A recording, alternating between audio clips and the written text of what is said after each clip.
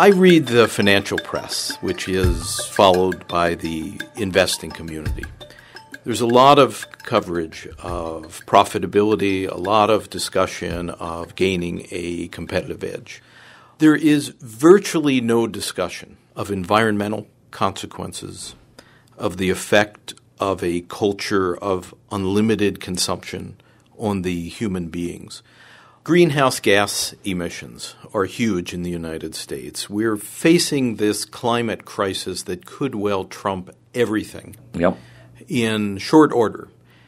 Why is the social and environmental impact of corporate America virtually never discussed? I think it's because it's not today. You know, we're very short sighted. We don't have long horizons. Uh, we expect technology to bail us out.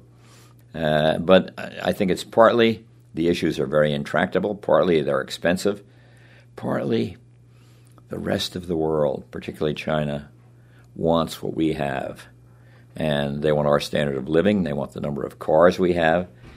And uh, it's this whole competitive thing, and it's hard to say they aren't as entitled as we are as this high standard of living.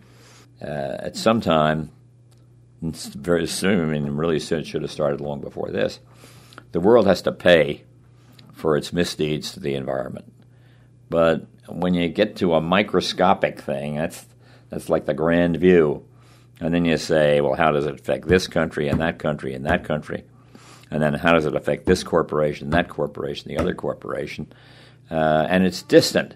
You know, in the stock market, for example, I don't think analysts are much worried about, let me say, 2025. And uh, I think there's always just this, you know, I hope not vain hope, but this hope that somehow technology and solar and wind and all those kind of things, which are a long way from helping us very much, and natural gas, which is better than coal, better environmentally, uh, and uh, probably better than, than gasoline too.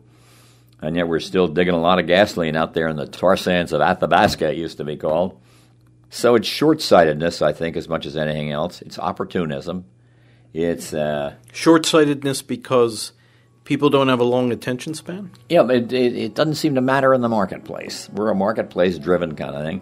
If there's this great big cloud of doom hanging over the world, and you could argue that there is, uh, but until it becomes much more apparent, you're not going to see much reaction.